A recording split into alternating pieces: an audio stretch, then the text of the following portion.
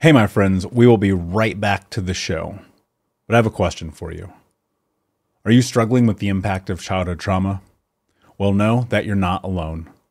I'm here to let you know that I'm starting a brand new weekly coaching group that includes a year of live coaching, accountability, support, habit and goal setting, and more. I'm starting a waitlist for the group right now, and I'm only taking a handful of people. And I'll let you know that through this personalized coaching, we'll work together to help you understand how your childhood trauma has shaped your beliefs, behaviors, emotions, and will help you create a roadmap for healing and growth. Right now, you can schedule an absolutely free coaching session with me and get put on the wait list if you go to thinkunbroken.com. My friends, it's your time to turn your trauma into triumph, breakdowns into breakthroughs, and become the hero of your own story. And I'm here to support you in doing that. Just go to thinkunbroken.com to register for a free coaching call with me and to get put on the wait list for the brand new weekly coaching program. We'll be right back to the show. But before we do, I want to tell you about today's sponsor, factormeals.com where if you go to factormeals.com slash unbroken50 and use the code unbroken50 you can get 50% off your first order. That's factormeals.com slash unbroken50. If you're like me and you are a person who is busy trying to create a life, heal, work on their health, wealth, and relationships, and not to mention deal with the day to days of normal life, you do not have time to be going to the grocery store and trying to figure out what you're going to cook every single day of the week. In fact, one time I did the math and I realized I was spending over 15 hours a week at the grocery store and cooking. When I added Factor, I got to use that time for myself, for my family, for my friends, for my community, and for my business. And so if you're in the place where you need some more support in the kitchen, head to factormeals.com slash unbroken50 and use the code unbroken50 to get 50% off. Hey, my friends, we will be right back to the show. But I have a question for you. Are you struggling with the impact of childhood trauma? Well, know that you're not alone. I'm here to let you know that I'm starting a brand new weekly coaching group that includes a year of live coaching, accountability, support, habit and goal setting, and more. I'm starting a waitlist for the group right now, and I'm only taking a handful of people. And I'll let you know that through this personalized coaching, we'll work together to help you understand how your childhood trauma has shaped your beliefs, behaviors, emotions, and will help you create a roadmap for healing and growth. Right now, you can schedule an absolutely free coaching session with me and get put on the wait list if you go to thinkunbroken.com. My friends, it's your time to turn your trauma into triumph, breakdowns into breakthroughs, and become the hero of your own story and I'm here to support you in doing that. Just go to thinkunbroken.com to register for a free coaching call with me and to get put on the wait list for the brand new weekly coaching program. Hey, my friends, we will be right back to the show. But I have a question for you. Are you struggling with the impact of childhood trauma? Well, know that you're not alone. I'm here to let you know that I'm starting a brand new weekly coaching group that includes a year of live coaching, accountability, support, habit and goal setting, and more. I'm starting a waitlist for the group right now, and I'm only taking a handful of people. And I'll let you know that through this personalized coaching, we'll work together to help you understand how your childhood trauma has shaped your beliefs, behaviors, emotions, and will help you create a roadmap for healing and growth. Right now, you can schedule an absolutely free coaching session with me and get put on the wait list if you go to thinkunbroken.com. My friends, it's your time to turn your trauma into triumph, breakdowns into breakthroughs, and become the hero of your own story. And I'm here to support you in doing that. Just go to thinkunbroken.com to register for a free coaching call with me and to get put on the wait list for the brand new weekly coaching program. Hey, what's up, Unbroken Nation? Hope that you're doing well wherever you are in the world today. Very excited to be back with you with another episode with my great friend and guest, Jaime Greene. Jamie, my friend, how are you today? What is happening uh, in your world? I'm, I'm excellent. How are you doing, Michael? I'm great. I'm very excited to hang out with you. So, you and I have known each other for a couple of years now. we've almost got kicked off of planes together. We've gone to conferences together. We've dinner together. We've talked about family and life and kids and cars and all of those things. And so I'm super, super excited to have you on this show because two reasons. One, I love your story and your journey. And as people hear it today, I think that they are going to be mind blown. Um, and two, I think you're just one of the most genuinely just kind and awesome people that I've probably ever met. So I'm super excited to get to share you with the audience today. Um, for those who don't know you, why don't we start and tell us a little bit about your background, your childhood, and, and what it was like for you growing up? Oh, that's a, yeah, sure. Well, thank you for all the um, kind things you had to say about me. Uh, yeah, so I was adopted from Korea when I was five months old. So, uh, came to America, flew on a Northwest airline. I think it was Northwest Orient or something into Chicago O'Hare. My dad came and picked me up, and they got like maybe three days' notice that I was coming. So crazy story, the whole story, the backstory of all that. Um, came to America with a bag and a bottle and a blanket and, and some diapers, and that was like it. Um, grew up. My I have an older brother and then two younger siblings. My sister is half black, half Korean. I'm from Korea. And then I have a younger brother that was adopted from India.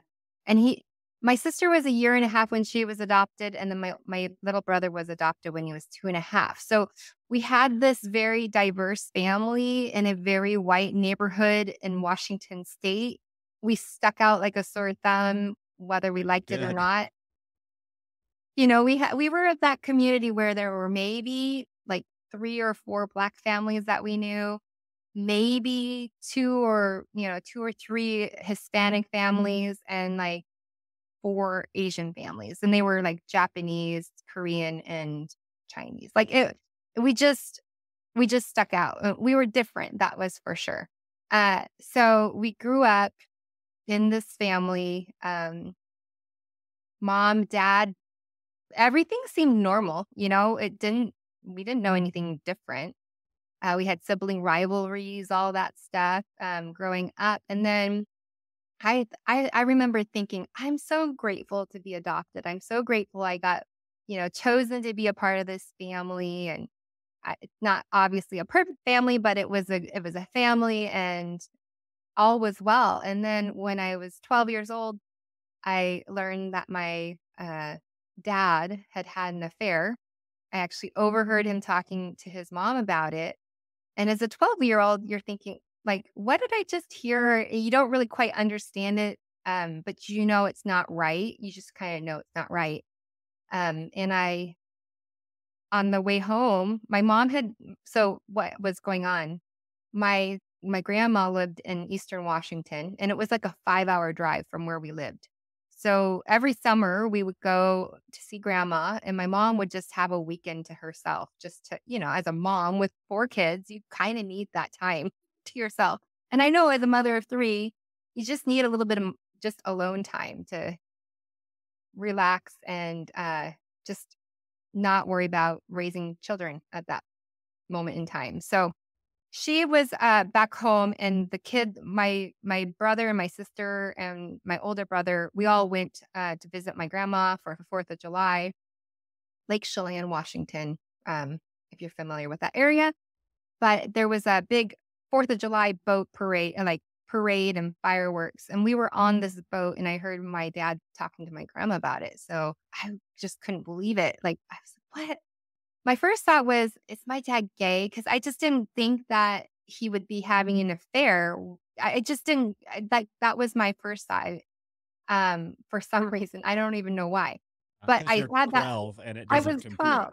Yeah. I was like, and I knew that, like, well, anyways, I knew that my dad, he was a good looking, he's a good looking guy. And I knew that, you know, he would tell me like people, people guys and gals would always be hitting on him. So I thought, well, maybe he was gay, or maybe he, I just, but he's not. so he had an affair with a woman. And I remember hearing my grandma say to my dad, oh, I'm looking forward to meeting her. So then I was, I knew he wasn't gay at that point in time, but um, I had this information inside of me and I didn't know what to do with it. And it just created this turmoil inside of me. And we had a five hour drive going back home. And I used to do this thing. My dad had a, a Silverado, Chevy Silverado bench seat, you know, um, and it was automatic. And I would always sit next to him. And I loved my, I mean, I was really close with my dad. So this was why this part of the story with me and my dad, it was so like heartbreaking. Um, but one of the childhood memories is my dad would let me drive the truck with my left foot and my left hand, or I'd like literally hold over on the steering wheel. He'd just sit back and let me drive on the freeway, like just sitting next to him. So we were doing that, and um, like I was driving, we were driving back, and I just, you know, I've always been one. If there's conflict or if there's something, I just try and address it head on. Like, I need to know what's going on. I have to have an understanding of why, but I also knew the gravity of the story or what was unfolding in front of me. Like, this could like destroy our family. And I had just had that thought of, oh my gosh, I'm so grateful for this family that I've been adopted into and and everything. And then so I asked the question. I asked my dad mm-hmm. on the drive home, my brother and sister, this was back before they had seatbelt laws and everything. They were sleeping in the back of the truck because we had a you. Mean, you mean when it was cool to be a kid? yeah, and th- we had an air mattress and sleeping bags, and you know, I had everything back there. And so it was just me and my dad in the truck cabin, and uh, and I asked him the question, and he just kind of said, "Yes, but don't tell your mom." And I was mm. like, what? Like, how do you do that? It's a lot of pressure for a kid. Yeah. It's, 12... it's wild because so often we, you know, a lot of kids experience that where they're like, don't tell your mom, don't tell your dad, don't tell your brother, you know, whatever it is. It's so, so like a heavy fucking weight to carry at 12 years old. Definitely. So I got home and I just, everything changed. Like my perspective of everything changed. Um, you know, I didn't I didn't say anything, but my sister said something and I was like, how did she know? Uh, but I think at the end of the day, my mom probably knew. Yeah. You know, uh, and they were just all kind of keeping things cool because they're probably trying to figure how what do we do here. Um, but and then eventually everyone, the family found out, and you know, my dad moved out and this and that. And so it just kind of disrupted our this family that we had. Mm. I was so mad at my dad. I was angry. I didn't speak to him for three years. And if it was, it was nothing but profanities and how much like he destroyed our family, which really was, you know, I didn't like that that was what was inside of me. You know, I didn't like that I had all this anger and I wouldn't say hate, but just anger, like dis like utter disappointment. Cause I was super close with my dad.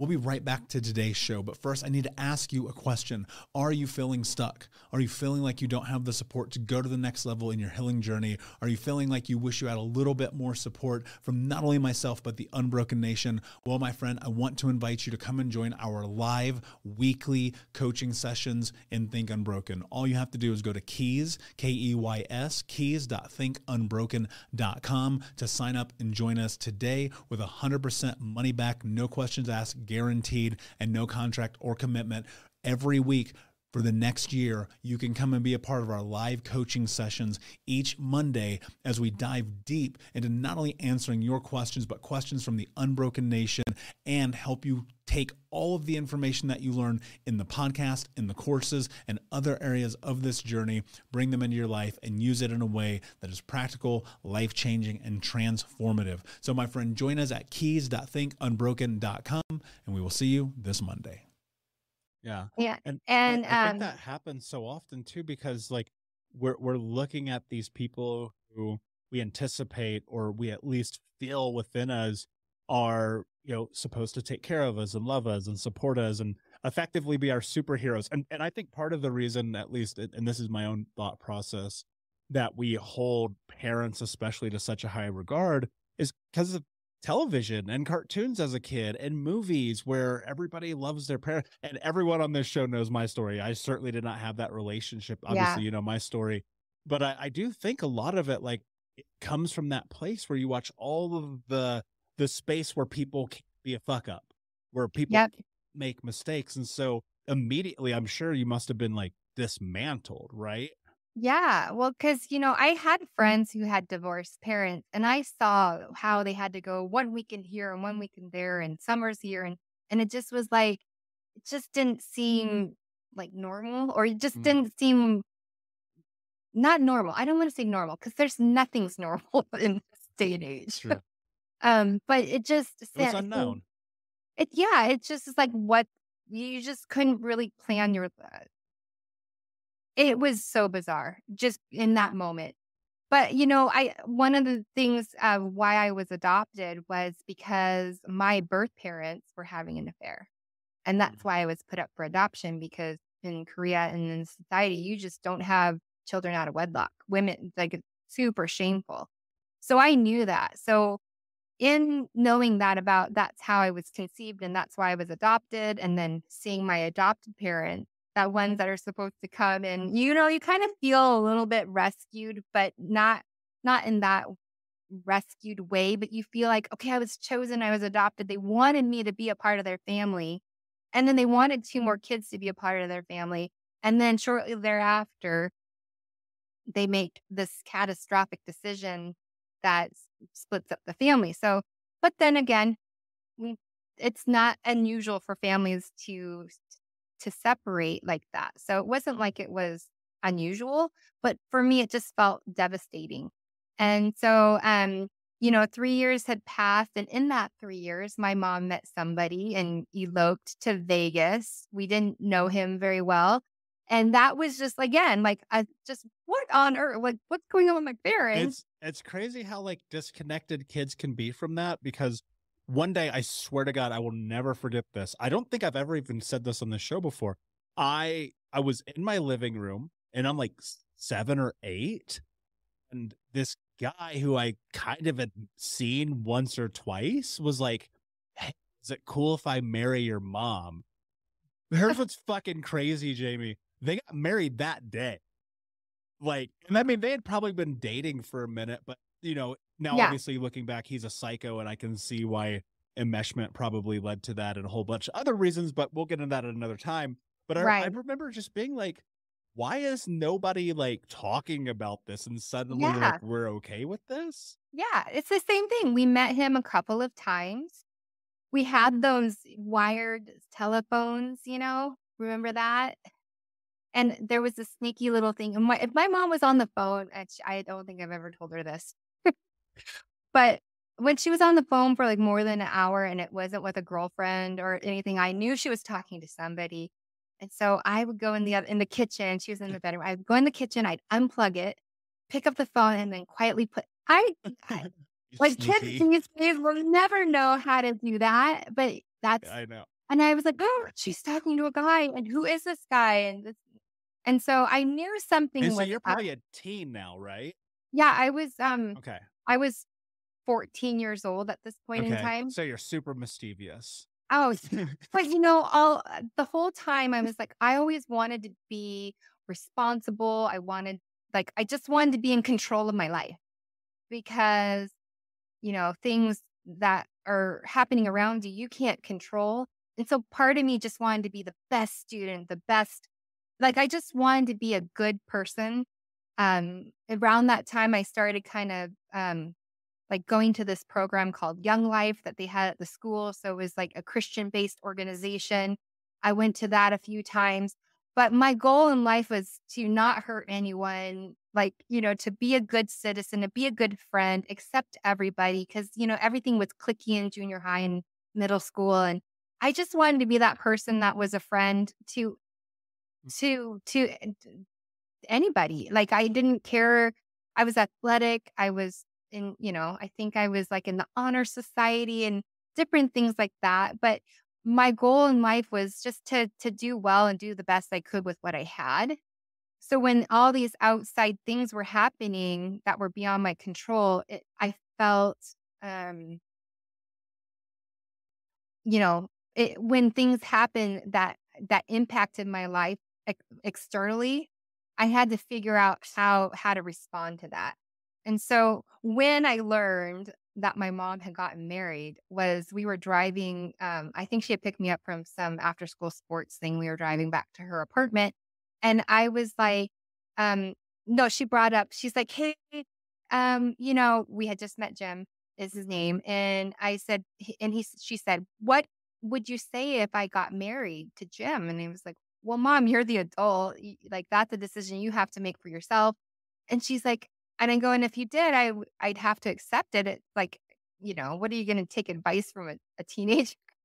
You are like you articulated that as a kid. Oh yeah, I mean, That's I, very I impressive. yeah. So, um, so she's like, well, well, we got married two weeks ago in Vegas. I know. I don't. What's wrong with the doll? Like what the? Was like, oh, what? Like, well, then why are you asking me for permission? Like, it's done. Like, you're married. And You like, know when you're you know when you're a kid and you like maybe steal something or maybe not steal something but I stole a lot of shit as a kid. But maybe you do something that you know you're not supposed to do as a kid and then you go ask for permission for it. Like that's what it sounds like is happening. Right? It's Yeah. like, wait a second. What?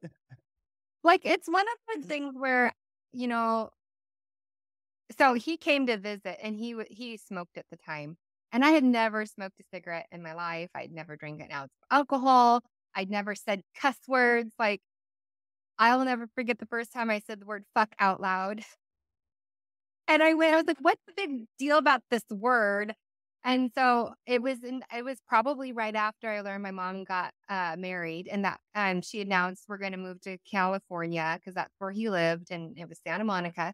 And I just remember going, what is going on here? I remember walking to school and I was just so confused. I was mad and I just like, I'm going to just say fuck.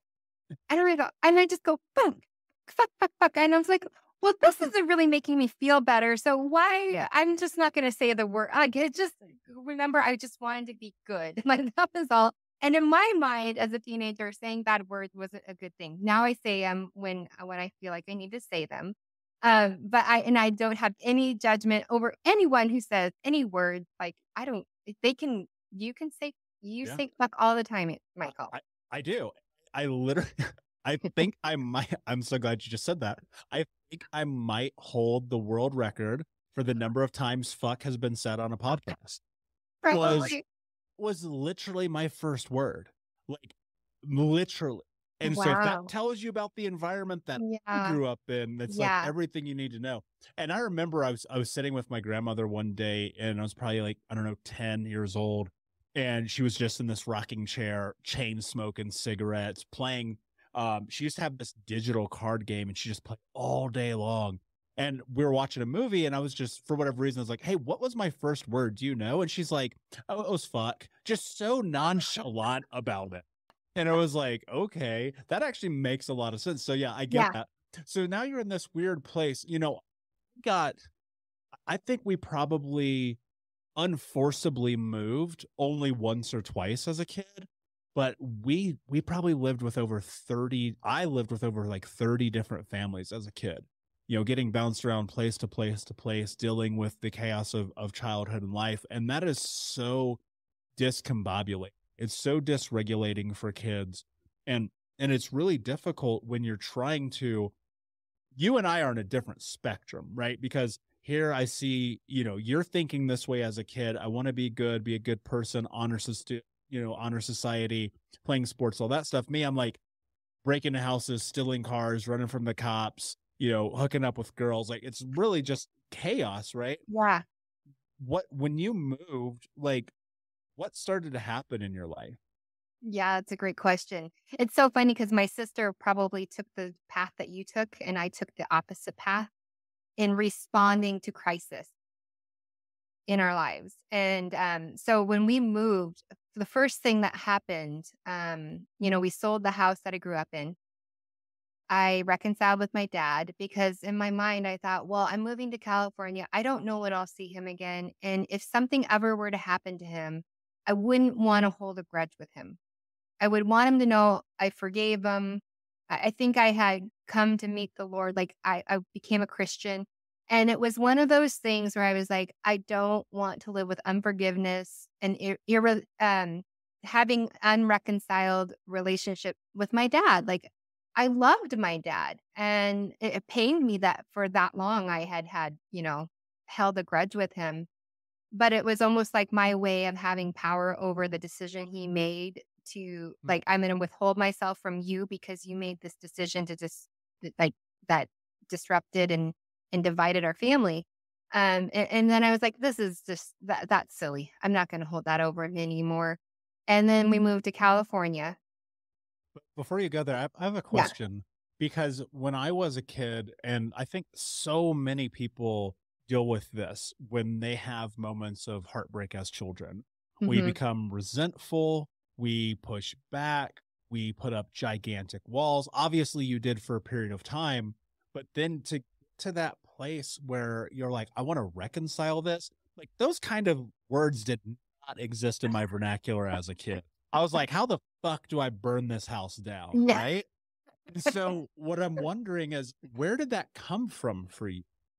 Is that innate? Is that a part of like the Jaime DNA? Because I'm sitting here like, I want to throw a brick through the window, and you're like, I'm gonna go and sit down and have a conversation. Yeah. No, I do think it was partly um because I became a Christian at that moment, like in that junior high phase. Like for as much as I knew what it meant to be a Christian, uh, you know, accepting um the death of, of Jesus on the cross for my sins and my wrongdoing. Um and so that I think is what really prompted inside of me that I can't hold unforgiveness towards him. Like if I am going to identify as a Christian and and believe in that, I for me I couldn't I couldn't hold unforgiveness towards him. I couldn't hold unforgiveness or any any um anger or or I never was really bitter towards my biological parents. I actually more or less felt it like what a gift, but also how hard. I mean, that's a whole nother story, another podcast of of all of that stuff. But it just was one of those things like I just I don't know what made me do that, but I would say it was just my faith in God that I couldn't live I couldn't call myself a Christian and then be like unforgiving towards my dad. Yeah. Yeah, that makes a lot of sense. I it took me a long time to get to forgiveness. I mean, it and even now I think about it in a magnitude of ways. One of which is i- in part, I think to some extent, and it's con- contextual, obviously. I think there are some areas in forgiveness in which it must be earned and not just mm-hmm. allotted. And I think for me, that just that comes in relationships and reconciliation and a lot of those things. Cause you know, it's one thing to be like, I forgive you, and then the same thing happens again. Yeah. That I played that game with my mom for, you know, my entire childhood. Yeah. And then there's the other forgiveness where it is it is for you. Because it's like if you're carrying that backpack of bricks with you Mhm. everywhere you go, it weighs you down. yeah, like, it does. And it's not just the forgiveness of other people, but like you, you have to forgive yourself too Mhm. and you know because I, uh, name a mistake name a terrible thing a human being can do outside of killing someone i've probably done it right i've been able to go and stand and look in the mirror be okay with the reflection on the other side love myself as is and just say you know what? Like i'm human having Mhm. a human experience and guess what? I'm gonna screw up again. Like it's only inevitable right? It's like it's coming. And s that's so astute of you to be that young and obviously having you know I, I think we fail to look at mentors we have in in our childhood as you know even the kid who's a senior in high school right or even the Yeah. you know the the church leader or whatever it might be for you and i imagine there just must have been some people who just spoke into you in a really powerful way Absolutely. You know, and this is, I I played competitive fast pitch. So I had coaches, I had friends, my, my parents, we had good friends. They were all there and supportive and everything. So, I mean, it definitely wasn't just this like profound thing that happened in my life just out of thin air, but there were, there was a community of people that were there and supportive in a very, um, um mm, I don't know what the word I'm looking for, but in if they didn't realize the impact that they were making on my life to make me re- feel like I mattered. Like Mm. that if that makes sense. totally. uh, or to keep going. And so, you know, my dad and I, we we had those hard conversations, and I was able to express the decisions that he had made and how how it hurt me so deeply. And and he apologized and he asked for forgiveness. So it wasn't like I just gave it to him, but there was um, an exchange of that. And of course, I apologized for how disrespectful and and I how Mm-hmm. I was with him. And so it was this moment of release and um it almost wants to bring me to tears right now but it was just one of those things where it's like it pained me to hold that against him if for any longer like i just didn't want to do that. Um and and so because i was moving to Cal- from washington to california with my mom and her new husband who we did not know we didn't know him very well my sister ended up staying with my dad. My brother and I moved down to California. My older brother was out of, you know, graduated and getting married and everything. So he's doing his own life. Um, but we moved to California and we didn't know anybody. And I was a fresh, I was considered a freshman. So I went from a junior high of like maybe 400 people into a Santa Monica High School with, I Holy think it had 2,200 kids. Yeah. Culture shock, right? Uh, a hundred, like a thousand. Yeah. But that saving grace there, like it took me probably two weeks to bring myself to go to school. And uh, my stepdad, he's my mom and my stepdad are still married to this day.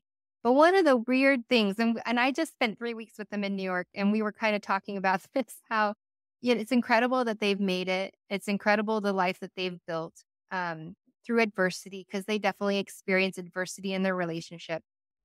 Um, but what was so but what was so strange was he was only 10 years older than me. Mm. So he was 25 when my mom and, and got married to him, and I was 15. So it was extremely bizarre.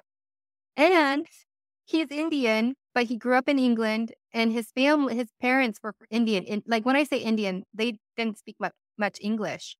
So here we are, not only in a new state. This is a sitcom, by the way.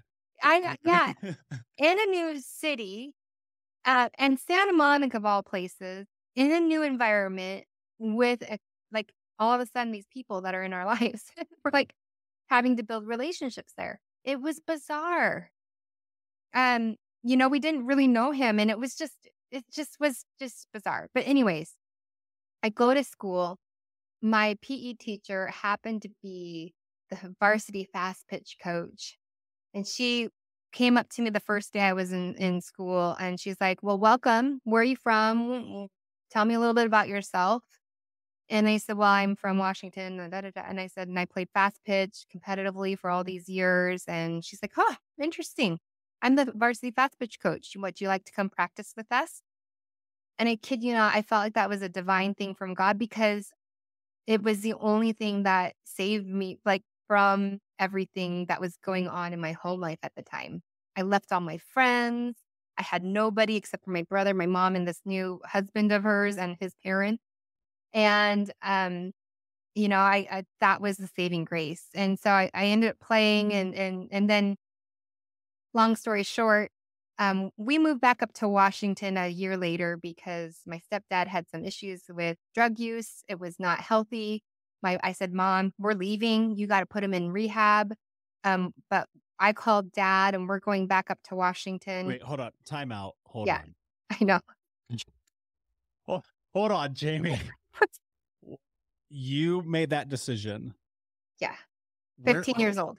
That's not. You know, I I've shared this on the story before on the show before. When I was I was 15, uh, I, I might have been 14, somewhere in that window. You know, I put a restraining order on my mom and my stepdad, and there's something about having to make those feel like insane decisions as a kid. Can, Yeah. can like you almost have to, right? There, I, I always feel like there's this thing sitting inside of me where it's like, dude, if you don't make this decision right now, like, and you don't talk about this, or you don't say this, you're gonna literally explode. Yeah. So, so you're you're so perplexing to me because I like to me, I look at that and I go, how the fuck can a child actually do that? Right? Yeah. What was happening? I felt like I just had to grow up. As soon as things happened with my mom and dad, I was like the child, I was a sibling everyone looked to for strength and support. Mm. And so I just kind of grew up. I had to grow up. And I also was had the wherewithal. Like even though I maybe didn't do like, you know, uh, going back to that cigarette story, I did try one of his cigarettes. I'm like, this burns my lips. It doesn't taste good. Why does why do people smoke? This is ridiculous. So I, I like, you know, I tried to try and do try to do mm-hmm. things that people would do that would like, you know, be that re- what I would call it a rebellious thing as a as a kid. But I just realized that that was a waste of time and energy on my part. And that's not what I wanted to participate in. So I guess part of that is I just had to grow up. Like I just had to take responsibility for my life, regardless of what was going on around me. And so when I recognized um, that these things that were happening inside my mom's marriage, new marriage, that were extremely unhealthy. I mean, I like, okay, they'll probably never watch this podcast or listen to it, but I remember getting in the car with my mom. Stepdad disappeared. At this point in time, I knew he was on drugs, and I'm talking heavy, like hardcore drugs, um, hallucinating, all that kind of stuff. Disappear for two days, uh, like at least a day. On day two, we, my mom goes, "We got to go drive and find him." And the first place we went to was Venice Beach to try and see if he was somewhere on the streets in Venice Beach. Like that's not normal 15 year old activity happening in someone's life. Totally. So I was just like, after we found him, I said, Mom. On Venice like, Beach? No, we didn't find him. I don't even remember. I yeah. think he came home. I think he just came back to the house. I call I remember calling my dad and I didn't really let him in on what was going on out of preservation for my mom. Um, but I just said it's not good. We need like it's not good. And I think my mom was talking to one of her really good friends um, up there, and she came down to visit, and she saw it wasn't good. And so, um, with that, she's like, "We're." I, I said, you know, she kind of helped us go back, like fly back to Washington. And I said, Mom, you need to put him in rehab and you need to help him and you need to get out of this relationship. Like, I just was like, you got to end this relationship. This is ridiculous. Well, he goes to rehab. Long, long story short, he goes to rehab. She moves to Washington. He gets clean and sober. He moves to Washington. He enrolls at University of Washington, graduates with highest honors in like biochemistry or something like that goes on to be a dentist and life eh, life improves like it was just a dark period of time in his life and she stood by him and i and and and, and forgave him you know like it's just crazy but all that to be said here they are 27 years later and they're they're doing quite well that's that's you know? wild i mean and adversity is everywhere you know I, I think that people i mean you've been married for a long time you have three children people seem to think like when you find the one or a spouse or a partner or you get married, like it's all fucking rosy. And it's like, it's not. It's just not. You know, I even think about past relationships and, you know, being where I'm at in my life right now and just thinking about future relationships and realizing like, you know, sometimes you just got to fucking tough this shit out. Like yeah. you got to have each other's back. You know, that's one of the things you and I we we met. I don't know if we met at GrowthCon. I don't remember exactly where we met, but what? but I think about like Grant and Elena's relationship, right? As a couple who is mentors to both of us and millions of people around the world in various relationships. I think about Tom Bilyeu and Lisa's relationship. I think about, you know, so many of these amazing people. And it's like, man, it's the fucking winter's coming.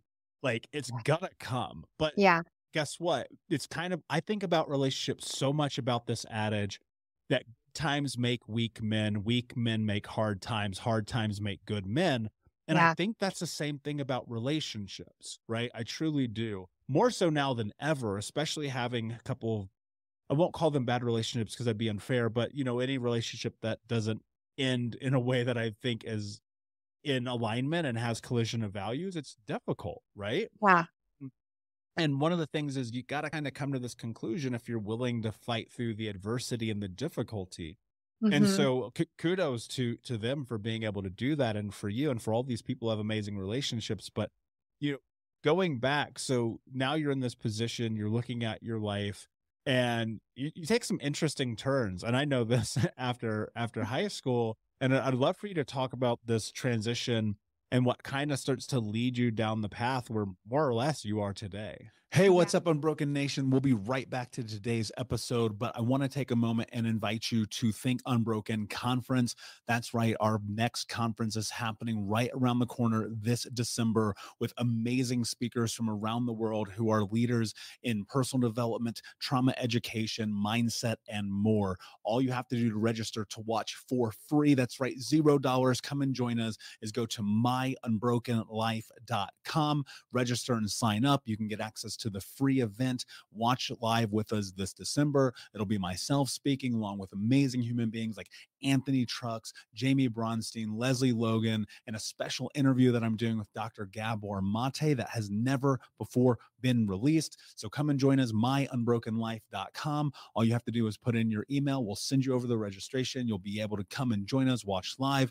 And then if you want access to the recordings or more information there for you to keep them forever. But in the meantime, go sign up block it off on your calendar. This is going to be a transformational experience that you do not want to miss. Head over to myunbrokenlife.com to register for free. Until next time, be unbroken.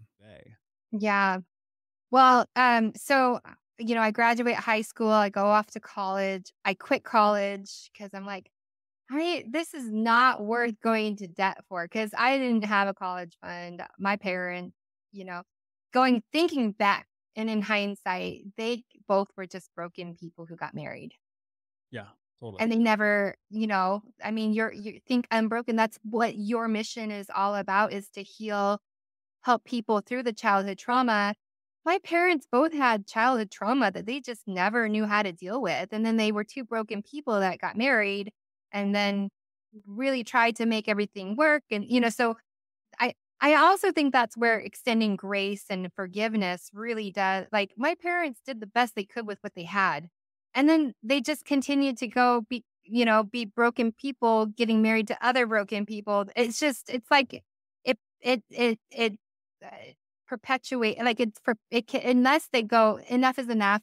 We're not doing this anymore. We're going to get the healing we need for our own lives. And, you know, I can't make them do that I'm sure that they've had healing in their their life somewhere, but that's like all through high school. It was all about okay, I gotta shake this stuff off. I gotta figure out who the hell I want to be. I go graduate from college or high school. I mean, my dad got married and eloped to I don't know what it is with my parents eloping to these um, places. She was a psycho woman, had to deal with that and unwrap, uh, unpack and unwrap all of that stuff too.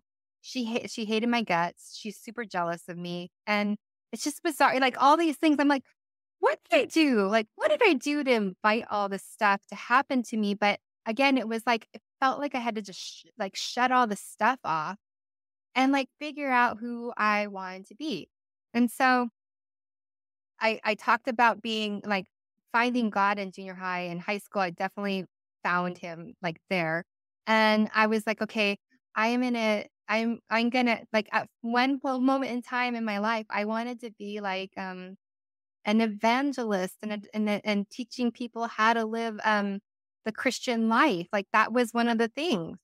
So I went to a church. I got involved with the ministry there and I met someone and I was like, oh, I felt whole. I felt like, okay, I've done the work. I've done the healing stuff. I'm ready to get married. And um, my whole goal in life was to have a marriage that was lasting and loving and an example um, of you can come from brokenness, but you can also have a, a, a, thriving marriage like that. You know, I just wanted that. So I got married at 22 years old to a gentleman I met at church. We were married uh, about a year after we met and was dating, and then we got married six months later. So about a year and a half. Well, um, right after we got married, things just started falling apart. Out of my like felt very much out of my control. And about a year into marriage, he had an affair. And I was like, the fuck is going on? Why is this adultery stuff? Like, what's going on? Like, I just, I'd never met anyone that had had all these things happen like uninvited. Like, it just like honestly, M- Michael, that was like what the fuck? Like Yeah. I've had I've had a lot of what the fuck moments. Yeah, Really it- and truly. And the the thing that I always come to like having this language now, and I always remind myself of this as an adult, is life is happening for you and not to you, right? Thank God we have that. But man, as a kid, I'd be like, what the fuck? This is the the craziest shit would happen in my life. And I would just be like, this is a movie. This cannot be real. You can't One make it up. You can't make it up. One time, I'll never forget this. My mom is shit faced on Hmm. Thanksgiving. And this girl I had a huge crush on, like, actually comes to my house for the first time. And I'm like, oh my God, this is amazing. My mom walks out. Jaime, this is not fucking, this is crazy shit. Walks out into the living room, wasted, butt naked. and in that moment, like you having that thought, I was just like, are you fucking kidding me?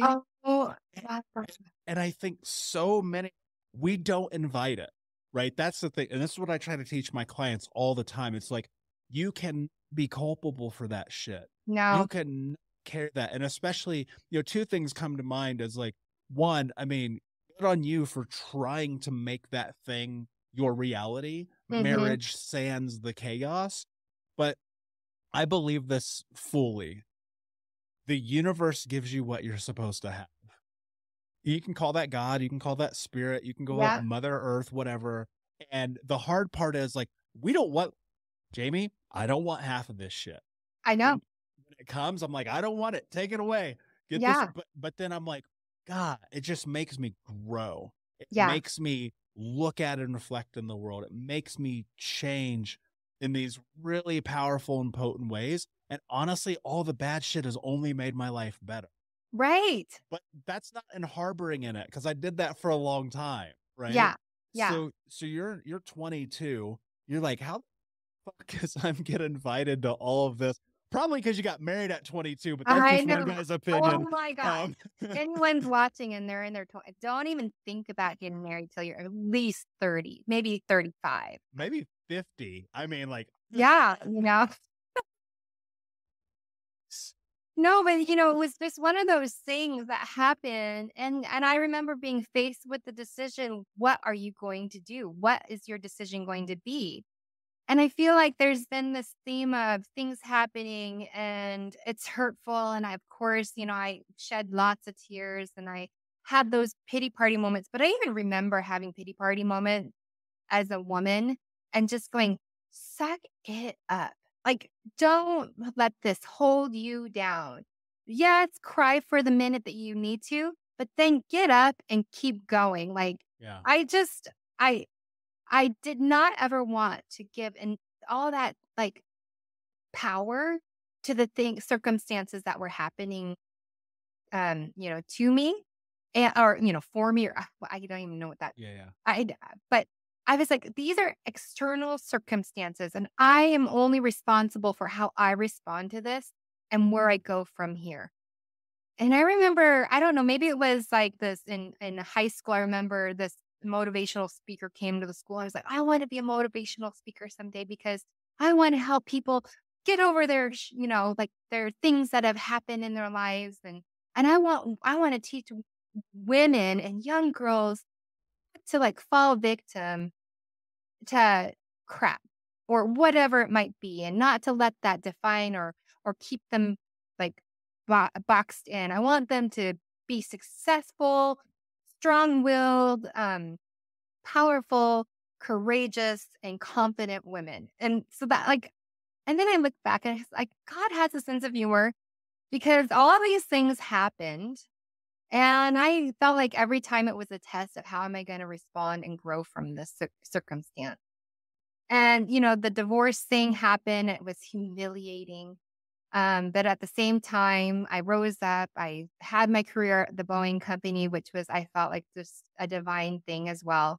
Traveled the world. And I was like, I am not even going to worry about relationships with with men. I am going to focus on myself. I am going to take all this in, this gift that I've been given of world travel through my company and and just grow as a human and as a businesswoman and um, lived the best life I could at that moment in time. And then it was, so I was like, this is awesome. And then I was like, okay, I'm ready for, I'm, I feel like I'm ready to share my life with someone. And in that time that I was traveling the world and being this successful businesswoman, world traveler, like it was awesome. I'm in my 20s without a college degree. like I shouldn't have had that job, but I did. Um, I bought two houses along the way and was learning to cash flow uh, with real estate investing the wrong way. Like I thought I was pretty badass, to be honest. And then one of the houses when I was traveling, I, I had it under property management, and it turned out to be a grow operation for about 900 marijuana plants in Washington. and I only laugh because I'm like, like, are you kidding? And it was to completely destroyed. The police busted down the door. Like, didn't bust the door open. They actually opened it. I didn't find out till six months later. It was completely destroyed. My my savings was all, de- you know, depleted for making the mortgage payment while we are trying to rent it out. The property management company. Um, that's another story. But just you know, had to file bankruptcy and then recover from that. And so this is happening in my mid 20s or You, late you know 20s. what's interesting? I, I'm gonna, I'm gonna pause you real quick because it's a lot, right? And I'm That's a at your lot, yeah. life. It is a lot, and I just go, man, it's like every we face challenges nonstop. Yes, It's going to stop. it's not. It's never going to end. Never. And there is something about the resiliency that you have to be willing to tap in that is going to be the differentiating factor between success and failure in your life. Right. And and I think you and I would both agree with this. You know, victimhood is a part of this. Take take your time, recover, but Yep. don't get trapped in it. Right. right. Don't get fucking trapped because that was me. 20 Yep. to 26, I was trapped in it.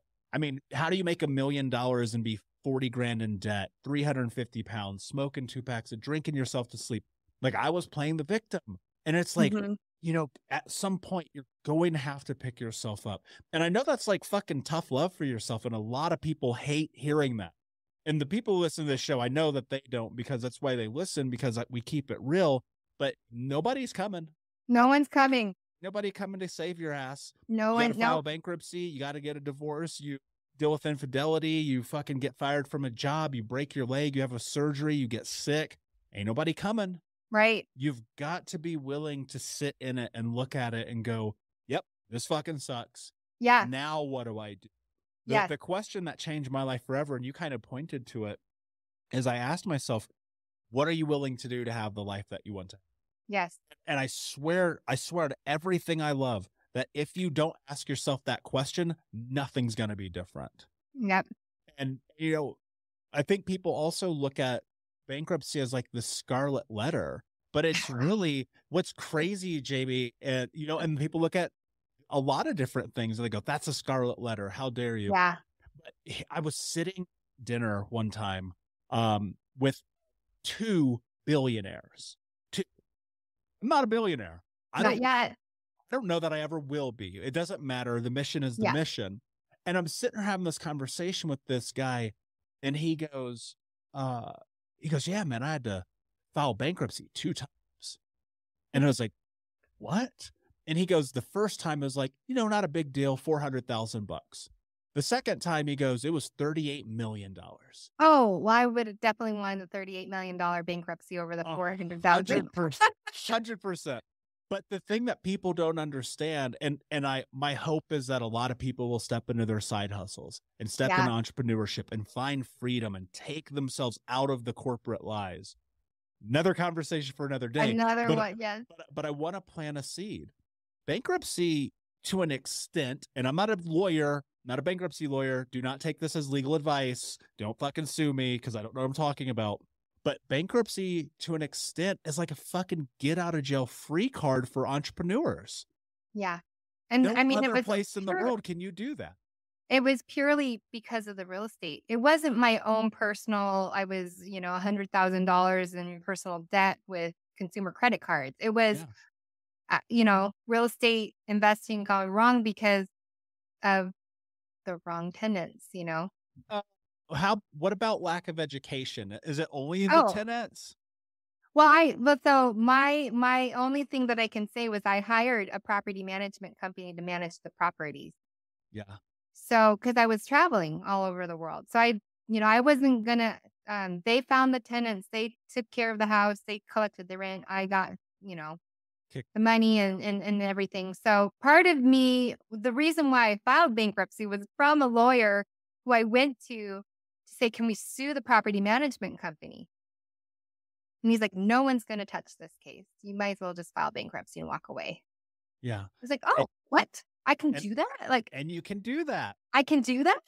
But, but And- you eh. know what's fascinating is people carry so much shame and guilt about all of these things, right? Yeah.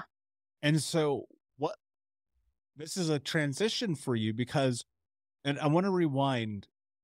You're traveling, this thing happens, but life is also kind of really good. Life And- was great. Yeah. And you're and you're kind of like, I think I'm ready. Yes. And and then what happens? Um, so then I met my husband, my now husband. We met through eHarmony before mm. it was ever cool to do the online dating. And I don't even know if it's still cool. Like to be eHarmony's still not cool. Let's call it what it is. Okay, so but I mean, I tried the match.com. I tried the millionaires like singles thing. And in fact, I met somebody who was like a founder of a really big time company, but he was a liar. Like, and I just, I'm like, I can't, I don't need lying. I d- even one lie. I don't need a lie. I don't need lying. I just Yeah. don't. I, I've had enough of it in my life. I just have had enough shit happen in my life that if someone's gonna, I don't want to build a relationship based off of distrust or a single lie. Like, I don't care how wealthy you are. I don't. That's not what I wanted. Um. So I, I met my husband on eHarmony. We we we met. We had like instant chemistry. We ended up dating long distance for a year, and I moved to California. Um, and he he like thought he was like, wow, this amazing girl. She's businesswoman. She's got two houses. She is doing really well for herself. Like sitting pretty cold, like you know, kind of thinking that. And then all of a sudden, all this stuff, the bankruptcy happens, the this and that happens. He's like, and I'm like, I hope he doesn't break up with me just because these things happen that were beyond my control. And thankfully, he didn't. He was very gracious. But um, we ended up dating. We got married, and so that's how I ended up back in California. And we've been married. We're coming up on 12 years of marriage, and three kids later. And you know, life is like I. We've worked hard to create the life that we want. We've Uh, we worked through mm-hmm. things like I'll never mm-hmm. forget the mm-hmm. first like we used to go to all these conferences together and the breakthrough conference for me was this one called like the Millionaire Mind Intensive. And I remember going to this and having utter like the most cleansing cry and breakthrough and it had everything to do with the financial like my financial cuz I remember I started working at 16 my parents didn't like I never got new clothing maybe a pair, a new pair of jeans and a new jacket and a new pair of shoes, and that was it. Everything else I had to buy for myself. I'll never forget buying the very first boom box for a hundred dollars. I worked so hard to earn that, and I'm like, is it worth me trading all that time that I worked at Pizza Hut serving pizza to people to go and buy this? I mean, I just got wrapped up in value and exchange of time and money and all that um, I definitely felt I had financial like chains weighing me down. But this, this, that millionaire mind intensive freed me up and it changed my life. And, you know, love or hate Robert Kiyosaki, but his, that book, Rich Dad, Poor Dad, changed my life. That's wild. Yeah. And, and I sit and I hear this and I'm like, you know, you're actually living that dream that as a 20 something you thought you were going to get. Right. And that's powerful. It's amazing because I think so many people, God, it's just like, if, if there's one thing that I hope people take from this conversation is like, you're, you're going to get thrown to the ground Yeah. again and again and again, but you can still have what you want. Yeah. Like you can't. You just can't. Uh, again, just to reference Grant because I love this quote. It's probably my favorite quote that he's ever said. Uh, You know, you you look at the world and it's like as long as you don't quit, you never lose. Yeah. and I, I sit with that all the time because here you are, very different life. Now, I know you from the business world. People know you as Jaime Greene, the solar queen. People will know you as whatever it is you choose to be next. But it's like your dreams, all the aspirations, all the goals, all the things that you want, not even you particularly, Jaime, but anyone listening to this right now, it's like you can have them. You yeah. just have to quit on yourself. Yeah, you got to keep, got to get up and keep going. And you have to live life with intention, with goals. I mean, goals that scare you, but also goals that you know you can accomplish along the way to get to where you want to go. And I think that was what was so what's so incredible about my husband, his name is Matt. Uh, one, some of the things that really attracted me to him was the fact that he, you know, uh, he's a, he he will say this. He will not admit this, but he, I mean, he will. But he's like a five-time Ironman triathlon. He's ran over 50 marathons. So to me, it showed me that he is committed, he's dedicated, and he knows what it takes like he, when he started running and doing marathons and all that stuff, he was he you know he had um, a relationship with alcohol that he had to sever, and when he did, he had to find something new to be passionate and um, focused on, and that became running. He went from I think he was way overweight. I didn't know him at the time, but he was way he was on his journey of of letting go of the the you know, crap from his life that he had sat in for a while. He was ready to make himself new. And so by the time I met him, and um and, and, vice versa, when we met each other, had we met each other ten years prior, we would have never met. We would have never made it. We, this and that. So, so there were things about his character that I admired, and the things that he, the activities he was involved in, that made me, that told me without me having to ask him or or for him to boast about but there were character traits about him that was very desirable and and um you know um honorable in that he knew what commitment looked like he knew what it meant to to keep going even though he mm-hmm. wanted he his body probably wanted to quit he kept going so you know we when we got married we we did we every anniversary set goals for our marriage set goals for our financial future set goals for our personal you know, um, Grant and Brandon talk about personal, professional, and financial goals as a business, but also as a human being. And it was, it just was so wonderful to meet him and and go, okay, let's let's do this thing called life and marriage and go after it. When we when I moved to California, it was right after the 2008 2009 financial crisis, and I didn't know anybody in San Francisco no one mm. was hiring. And so that's where the hustle inside of me was born. You know, I left my very secure job to marry him. And it was, I have to figure this out. I have to figure it out. I have to go out and find a way to make money. I started a photography business. I started dog running just to for immediate cash, like dog running. I made $30 an hour dog running, not walking, running. you know, so um, and out of that, and e-commerce, uh, doing e-commerce on Amazon, like just all these things, learning to trade the financial markets, and just going, ah, I just felt like these were not the things that I need, I uh, that I was passionate about. And then I got into digital marketing, and that's when solar found me. And it's just been one of these things that it was a gift, and I took it, and now I'm in this industry that's hasn't even really taken off yet. But I would say that it all all these things, you know, like you you and I were talking before the show about super hyper focusing on the thing. Like the one thing. What's the mm-hmm. thing that's going to get you to the next thing? And not be not be distracted by shiny object syndrome which so many entrepreneurs are, but just to stay focused on the goal and the prize that you want and desire in life. And I do feel very grateful and blessed that I have a husband that supports me in all these things, but also we do have common vision of where we want to go uh, individually and as a married couple. Yeah, that's that's amazing. And you do have to have that. You have to you cannot have a conflict of values. You cannot. It does not no. work. You will be half yoked no. all day long. And that's probably the greatest lesson that I've learned um, through relationships is like if you are not on the same page, you are screwed. Period You Yeah. just are. Yeah. And and you know, and I, I think that a lot of people, you know, they they look at growth, they look at potential, and they're scared of it. And for a long time, I was too. I was like, I'm terrified to be successful. Like I've only ever known you're not good enough. You're never going to have the things that you want. Nobody's going to care.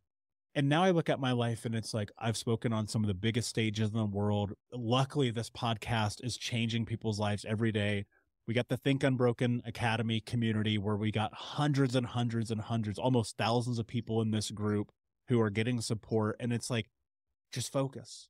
Just Yeah. focus and do the thing. But but in that also invest in yourself. Be Right. willing to bet on you. And that's what you did. You bet on you. You bet on you and your husband to leave an incredible job, to go into the unknown, to run dogs, which is absolutely insane. And then to be willing to be like, you know what? Sometimes you have to spend money to Yes. be a better version of you, to be a different version of you. And and there's a lot of people who, you know, their shoes cost more money than they've invested in themselves in their whole life. And I have a hard time paying more than fifty dollars for a pair of shoes, Michael. Yeah. No, I have no problem paying five thousand dollars or ten thousand dollars for self development. Agreed. Yeah. I mean, I definitely have a couple nice pair of shoes, but like ultimately, you know, you look at it and you go, priorities are everything, goals are everything, picking yourself back up, recognizing like, man, that that next punch to the gut, it's right around the corner. Yeah. But Yes. just saying, you know what, I accept that reality and I'm willing to bet on me. Right. Jaime, th- this conversation has been awesome. I know we could go much, much longer. Um, but before I ask you my last question, please tell everyone where they can find you. Uh, I'm on all the social medias except for, well, I, I'd say Facebook, uh, LinkedIn, Instagram, and YouTube. Um, Jaime Greene, Jaime Greene, the Solar Queen. Um, YouTube is youtube.com forward slash Jaime Greene. And that's all my YouTube channel is all about solar energy. You should be wearing a crown when we do interviews. I know. From, I know. now for you, the we'll talk about this off air, but we need to get you a crown. My last question for you, my friend. What does it mean to you to be unbroken? Oh my gosh. It means to run freely into the thing that you want and not to let the circumstance hold you back. Um, you know, you said sit in sit in the the sorrow of it for a little while, sit in that, but just keep going. Um, because it's kind of like breaking in a horse. You know, you have to break that horse to be able to make it be amazing and fast and do the thing.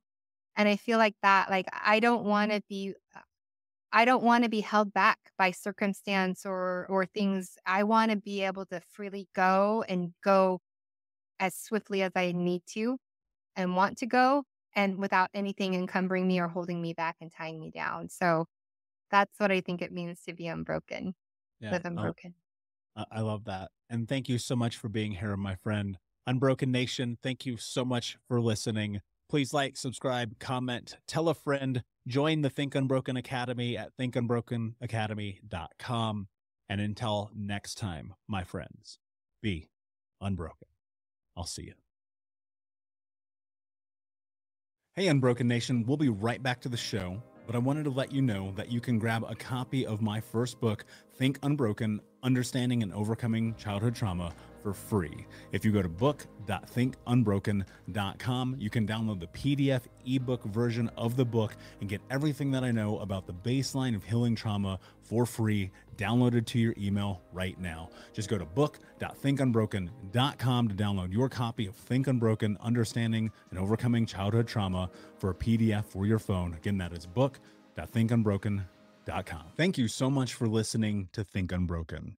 Please share this episode with someone who could use it and help us move forward in our mission of ending generational trauma in our lifetime. And if you would, please take five seconds to pop on iTunes or Spotify, hit that five star, leave a review. And you can also reach out to us on social at Michael Unbroken or at Think Unbroken. And of course, you can check out our YouTube channel at Think Unbroken. Thank you for being a part of Unbroken Nation, my friends. And until next time, be unbroken. Hey, my friends, we will be right back to the show. But I have a question for you. Are you struggling with the impact of childhood trauma? Well, know that you're not alone. I'm here to let you know that I'm starting a brand new weekly coaching group that includes a year of life coaching, accountability, support, habit and goal setting, and more. I'm starting a waitlist for the group right now, and I'm only taking a handful of people. And I'll let you know that through this personalized coaching, we'll work together to help you understand how your childhood trauma has shaped your beliefs, behaviors, emotions, and will help you create a roadmap for healing and growth. Right now, you can schedule an absolutely free coaching session with me and get put on the wait list if you go to thinkunbroken.com. My friends, it's your time to turn your trauma into triumph, breakdowns into breakthroughs, and become the hero of your own story. And I'm here to support you in doing that. Just go to thinkunbroken.com to register for a free coaching call with me and to get put on the wait list for the brand new weekly coaching program.